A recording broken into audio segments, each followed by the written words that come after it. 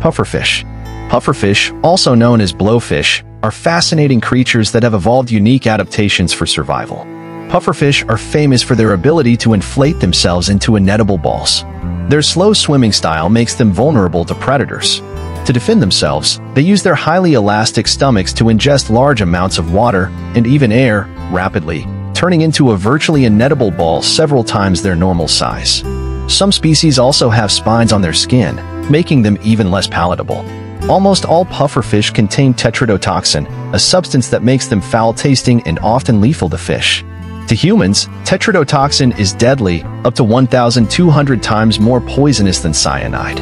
In Japan, the meat of some pufferfish, known as fugu, is considered a delicacy. However, it is extremely expensive and only prepared by trained, licensed chefs who know that one bad cut can be fatal for a customer. There are more than 120 species of pufferfish worldwide, most are found in tropical and subtropical ocean waters, but some species live in brackish and even fresh water. They range in size from the tiny dwarf or pygmy puffer, about one inch long, to the freshwater giant puffer, which can grow to over two feet in length.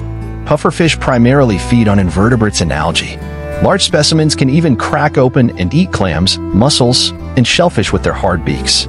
Poisonous puffers synthesize their deadly toxin from the bacteria in the animals they consume. While some species of pufferfish are considered vulnerable due to pollution, habitat loss, and overfishing, most populations are considered stable.